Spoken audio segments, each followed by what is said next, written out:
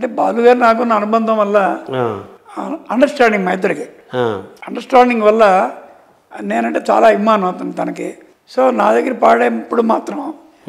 అది అందరి దగ్గర అలా పాడి ఉండొచ్చు నా దగ్గర పాడే విధానం వేరుగా ఉంటుంది. తర్వాత మన మీరు చాలా సీరియళ్ళు చేశారు. మనం కూడా ఒక పతికేళ్ళ క్రితము కన్యాశుల్కం చేశాం. ఆ, దానికి నంది అవార్డు వచ్చింది. చాలా పెద్ద గుర్తింపు వచ్చింది కదా. చాలా. బాలు గారు పాడారు దానికి మీరే మ్యూజిక్ చేశారు. తెలుగు కథకు శ్రీకారం మెరిసే ముత్యాల సరం అక్షరాల అడుగుజాడ అసలే అతనే మన గురజాడ అని ఒక పాట అది. చాలా మంచి పాట. మన రాంభట్ రాశాడు. నృసింహ శర్మ చేసాం అవును. అలాగే టీవీల్లో ఈ ఫస్ట్ సాంగ్స్ ఉంటాయి కదా. ఉమ్, ఉమ్, ఈ టీవీలో ఆ, పోపులు పెట్టే యూట్యూబ్ పెట్టిన కొత్తల్లో. ఈటీవీ పెట్టిన మొత్తంలో ఫస్ట్ అంతరంగాలు వాసురావు చేశాడు. బ్యాక్గ్రౌండ్ స్కోర్ నేనే చేశాను వన్ అండ్ హాఫ్ ఇయర్స్ దాని తర్వాత అన్వేషిత పెద్ద హిట్. అది నారాయణ రెడ్డి గారు రాశారు. పోపులు పెట్టి మనో. నేను మనో పాడాం. అది పెద్ద హిట్ అది. పాడారా మీరు? అంటే నా నా వాయిస్ మిక్కీ మౌస్ వాయిస్ చేసి పెట్టాం. అదే జనోతులు గారు రాశాడు. అలాగే మన ఇది అనుబంధం. దాంట్లో జానకి గారి నంది అవార్డు వచ్చింది. సుమన్ గారు అన్ని పాటలు. చాలా అద్భుతంగా వచ్చాయి. ఈ సందర్భంలో ఈనాడు యాభై ఏళ్ళు కదా ఈటీవీతో మొట్టమొదటి సీరియల్ నేనే చేశాను ఉహు. ఎందుకంటే సుమన్ గారు గురువు డివి నరసరాజు గారు. నరసరాజు ఎం. అది పదమూడు ఎపిసోడ్స్ దాన్ని మ్యూజిక్ చేశాను. రామాజీరావు అంటే నాకు ఎలా చెప్పాలంటే నాగిరెడ్డి గారు చక్రపాణి గారు మా మాధవపెద్ది వంశంలో ఎంత ముఖ్యమైన స్థానం? రామోజీరావు కూడా అంతే. మరి ఏడేళ్ళు వాళ్ళతో పనిచేయడం పాడుతా తీగాకి ఏడెనిమిది సిరీస్కి నేనే అన్ని వాళ్ళకి వెళ్ళి పిల్లల్ని తీసుకొచ్చి ఇచ్చేవాడిని. సో అలా అనుబంధం చాలా అనుబంధం. తర్వాత మీ జీవితాన్ని తరచు చూస్తే మీరు ఎప్పుడు తలుచుకునేవారు నిత్య స్మరణీయులు? ఎప్పటికీ మీరు కృతజ్ఞతగా ఉండేవాళ్ళు? ఎవరెవరు తలుచుకు అనుకుంటారు సార్? చాలామంది తలుచుకుంటాను. ముఖ్యంగా చలపతిరావు గారు. మీ మొట్టమొదటి అవకాశం ఇచ్చిన టీచర్ అవకాశం ఇచ్చిన. ముందేమో మాకు భావనా కళా సమితి ఆ సభ్యులందరూ మేము కలుస్తుంటాం. విజయవాడ. అయ్యో ఎప్పుడు కలుస్తుంటాం. అందరం పెద్దవాళ్ళం అయ్యాం కదా. సెవెంటీస్ దాటిపోయి అందరికీ. అలాగే చలపతిరావు వాళ్ళ కుటుంబం. అన్నం పెట్టిన వాళ్ళని మళ్ళీ మర్చిపోతాం. కృతజ్ఞత. ఆయన దగ్గర నేర్చుకుంది ఏంటంటే క్రమశిక్షణ నేర్చుకున్నా. ఇప్పుడు కూడా ఆయన గుర్తొస్తారు. అలాగే పెంజాల్ గారి దగ్గర ఒక మంచితనం మాట్లాడే విధానం. అది ఎక్కువగా పెంజాల్ గారే. నాయన అసలు మాట్లాడటం నాయన అని మాకు పెట్టేవారు. స్మూత్గా. ఒక కొడుకులా చూస్తున్న వాళ్ళు. వాళ్ళు నన్ను ఎప్పుడు ఒక మ్యూజిషియన్ లాగా నన్ను ఇప్పుడు చూడాల. ఎందుకంటే మా ముందు తరంతో పనిచేస్తారు కాబట్టి. బాబాయ్ గారు వాళ్ళందరితోటి. చేయటం వల్ల మా అన్నయ్య కూడా చాలా మంచి పాటలు పాడాడు. రాజేశ్వరరావు అంతే. వాళ్ళ కచేరీకి వెళ్ళి వెళ్ళేవాడిని. వాళ్ళ రికార్డింగ్స్ వాయించేవాడిని. సో రాజేశ్వరరావు పెంజల్ గారు. తర్వాత ఘంటసాల గారితో నేను వర్క్ చేయలేకపోయాను నా బ్యాడ్ లక్. కానీ వాళ్ళ కుటుంబంతో మంచి ఫ్రెండ్షిప్. మా బాబాయ్ను ఘంటసాల గారు ఆల్మోస్ట్ బ్రదర్స్ లాగానే. అదే అదే. నెక్స్ట్ బాలు గారు. బాలు గారు ఒక్కడే కాకుండా వాళ్ళ అమ్మగారు నాన్నగారు వాళ్ళ అత్తగారు మామగారు వాళ్ళ బావమరుదులు. సావిత్రి గారు నాకు ఒక సిస్టర్ లాంటిదే. సావిత్రి గారికి ఉన్న ముగ్గురు బ్రదర్స్ చనిపోయారు. నేనే ఒక బ్రదర్ని ఆవిడకి. అదే వాళ్ళ ఇంట్లో. సో అంటే అలాగే వాళ్ళ పిల్లలు పల్లవి చరణ్ ఇంకా ఇలా మూడు తరాలతో అనుబంధం అలాగే రావు బాలసరస్తి గారు. ఉమ్, నన్ను ఒక పిల్లవాడి కింద చూస్తుంది. ఆవిడతో కూడా నేను రికార్డ్ చేయించాను. నా దృష్టం అది. ఆల్బమా? ఆ ప్రైవేట్ ఆల్బమ్ తర్వాత ఒక ఆల్బమ్లో పాడిచ్చాను. ఇద్దరం చాలా చేసాం మెంబర్స్. అలాగే జానక్ గారు నా కజిన్ సిస్టర్ మీకు బంధుత్వం కూడా? ఉంది ఉంది. బాగా క్లోజ్గా ఉంటాం. ఈ ఊళ్ళో హైదరాబాద్ వచ్చిన తర్వాత చాలామంది సింగర్స్ని ఆవిడ దగ్గర తీసుకెళ్ళి పరిచయం చేసింది నేనే. అలాగే ఇళయరాజా కూడా. ఇళయరాజా మరి అంత విషయం ఉన్నవాడు మహానుభావుడు. ఎందుకో తెలియదు మా ఫ్యామిలీ అంటే చాలా ఇష్టం. విశ్వాసం. వాళ్ళ ఇంటికి వెళ్ళి కింద కూర్చొని ఫోన్ చేస్తాం మేము. అది అదృష్టం అది. పాత పద్ధతిలో. అలాగే సంగీతం శ్రీనివాసరావు గారు ఆయనతో ఆయన అంతే. మాకు ఫ్యామిలీ ఫ్రెండ్స్ మేము. మాకు అక్కడికి వెళ్తే ఏదో మా బాబాయ్ పెదనంతా మాట్లాడినట్టే రావికొండల్లో వారు ముఖ్యంగా. ఆయన అప్పుడు తర్వాత మా నాగిరెడ్డి గారి పిల్లలు. మా బాబుజీ గారు ఈ మధ్య చనిపోయారు. ఆయన విశ్వనాథ్ రెడ్డి గారు.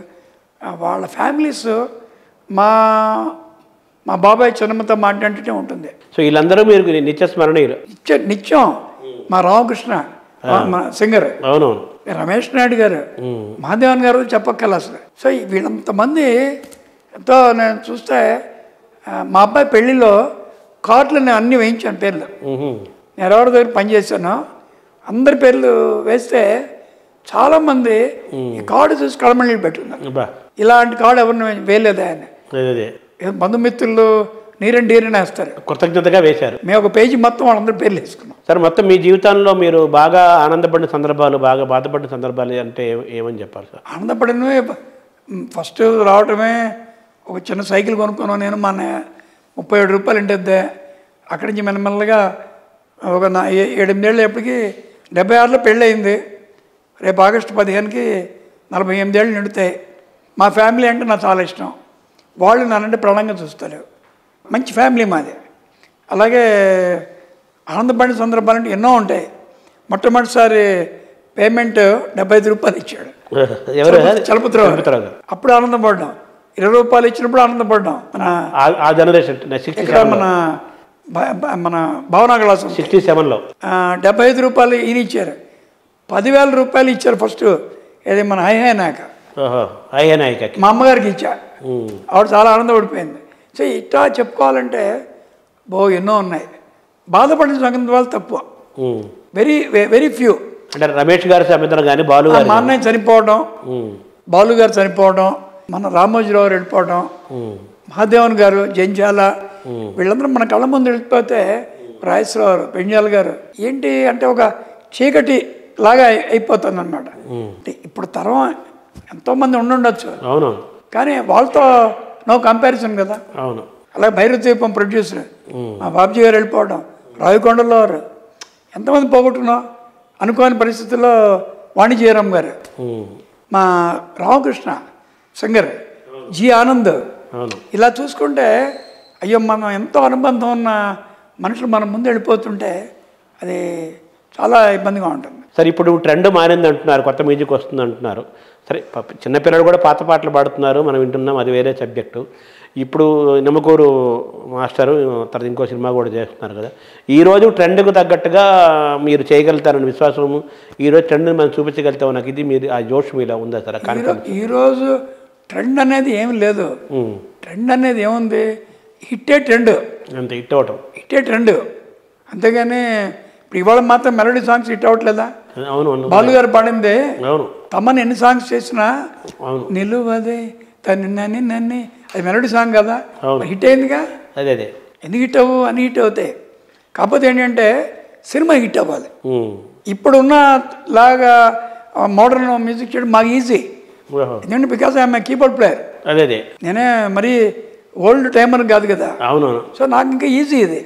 పైగా నాకు అడ్వాంటేజ్ ఏంటంటే మ్యూజిషియన్స్ అందరూ నా friends so I can make wonders అవకాశం రావడం ఆలస్యం. ఇప్పుడు వచ్చింది మీకు అవకాశం? వచ్చింది. కాకపోతే ఏంటంటే హిట్ ఫ్లాప్ అనేది ఇది ఎవరి చేతుల్లో లేదు.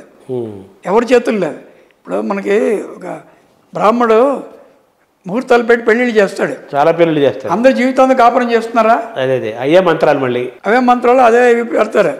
ఆరు నెలల్లో పక్కవాడతో లేచిపోయే వాళ్ళు ఉంటారు. అవునవును. సో అది అది ఫ్లాపే కదా? అవును. సినిమా కూడా అంతే కదా? అదే కొన్ని సినిమాలు ఎందుకు సూపర్ హిట్ అవుతాయో కొన్ని ఎందుకు ఫ్లాప్ అవుతాయో తెలిస్తే అందరూ హిట్ చేస్తారుగా ట్రెండ్ అనేది ఏం లేదు. ట్రెండ్. అది. ట్రెండ్ అనేది అదేదో మాట. ఇప్పుడు జనం అడిగారు మనం వచ్చి. మాకు ఇటువంటి వింటాను అడిగారు వాళ్ళు. అవును. ఎవరు అడగరు. ట్రైన్లో కాఫీ ఉంటుంది. ఫిల్టర్ కాఫీసే తాగుతారు. వాళ్ళు ఎవరు?